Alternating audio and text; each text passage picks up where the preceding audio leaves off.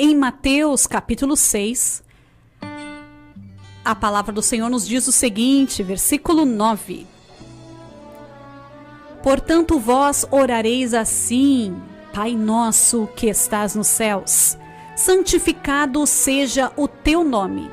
Venha o teu reino, seja feita a tua vontade, assim na terra como no céu. O pão nosso de cada dia nos dá hoje. E perdoa-nos as nossas dívidas, assim como nós perdoamos aos nossos devedores. E não nos conduzas à tentação, mas livra-nos do mal, porque teu é o reino e o poder e a glória. O Senhor Jesus nos ensinava essa linda oração e é desta forma que nós devemos orar, nos, nos dirigindo a Deus que está no céu e santificando o seu nome e dizendo a Ele: Venha o teu reino, seja feita a tua vontade. Pedir a Ele também que supra as nossas necessidades financeiras, o nosso alimento, mas também nós precisamos atentar para uma coisa, para o perdão. Porque quando a gente fala para o Senhor: Senhor, perdoa os meus pecados, nós também temos que perdoar os nossos irmãos. Olha o que a palavra do Senhor nos fala no versículo 14. Versículo 14. Porque se perdoardes aos homens as suas ofensas, também o vosso Pai Celestial vos perdoará a vós.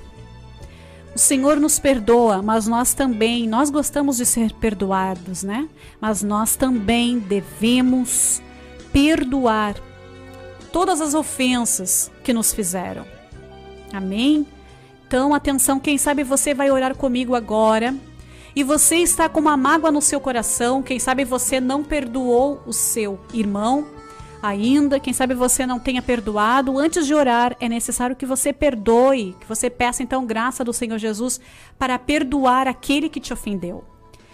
E a palavra do Senhor também diz: "E quando jejuardes, não fique contristado como os hipócritas. O Senhor Jesus está dizendo o seguinte: quando você jejuar e quando orar, não fique querendo se mostrar porque isso é coisa de hipócrita, pessoa que não agrada a Deus. Deus não gosta de hipocrisia, Deus gosta de sinceridade.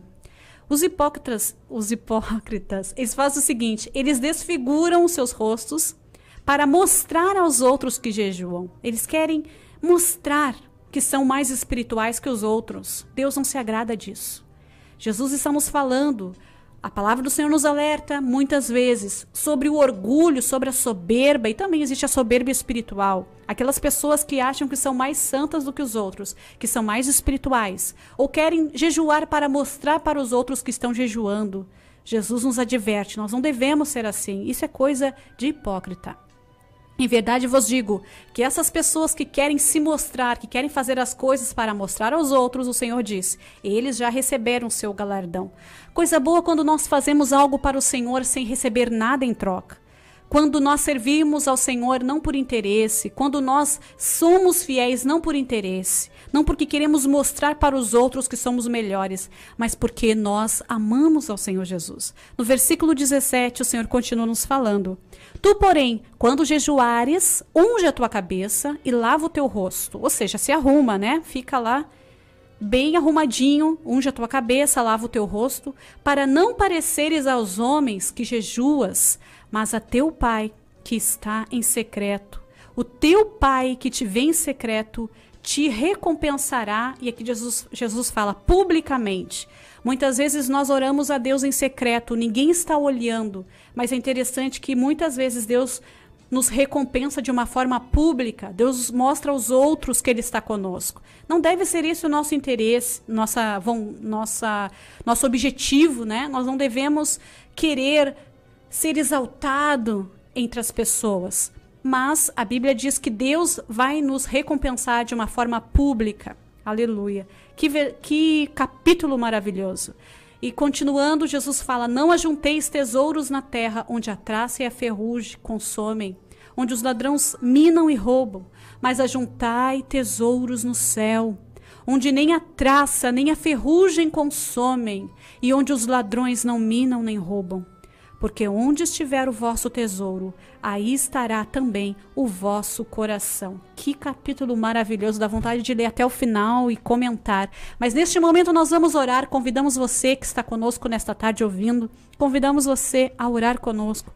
Ore conosco, quem sabe você está num local que não pode fechar os seus olhos, dobrar os joelhos, mas ore a Deus em pensamento. Deus que está te vendo em secreto, ele te recompensará. Coloque diante do Senhor as tuas necessidades, os teus problemas. Deus quer ouvir de você, porque você também pode orar. Você não, não precisa ficar se preocupando com palavras bonitas na presença de Deus, porque Deus conhece o teu coração. Não precisa ficar pedindo que todos os obreiros, todas as pessoas orem por você. Mas Deus quer ouvir você mesmo orando, você mesmo falando com Deus. Quantas vezes as pessoas pedem oração somente para os outros, mas não querem conversar com Deus. Nesta tarde, meu querido ouvinte, Deus quer ouvir a tua voz. Deus quer ouvir o teu clamor. Abra o teu coração, não precisa de uma oração sofisticada na presença de Deus. Deus conhece o nosso coração. Então abra com uma simplicidade, porque o evangelho é simples. Abra a tua boca da forma simples e ore a Deus nesta tarde. Vamos orar? Oh, aleluia! Ó oh, Senhor, estamos na tua presença nesta tarde. Nós te louvamos porque o evangelho é simples. Ó oh, Pai, a nossa oração também é simples, mas nós precisamos de ti, Senhor. Ó oh, meu Deus, tu és tudo que nós precisamos. Olha, Pai, para cada irmão, cada irmã que está orando comigo nesta tarde, meu Deus.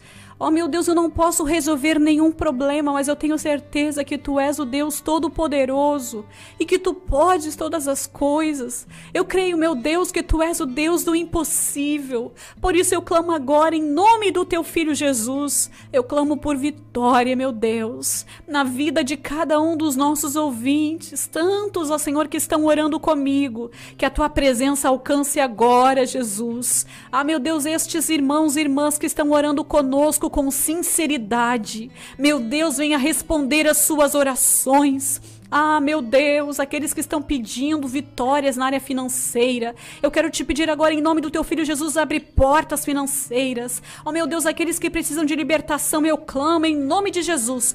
Ó oh, Senhor, que venha alcançar nesta tarde a libertação, libertação do álcool, libertação das drogas, libertação da prostituição, libertação do mundanismo, libertação do pecado. Que nesta tarde, Senhor, venha alcançar a libertação da vitória, meu Deus, para cada irmão e cada irmã que está clamando, está pedindo, ó Pai, nas mais diferentes dificuldades e problemas. Tu és o Deus onisciente que sabe de todas as coisas. Por isso eu peço agora, venha resolver este problema. Eu peço em nome do teu filho Jesus, que a tua bênção, que a tua presença venha alcançar agora esta família e este coração. Em nome de Jesus. Amém.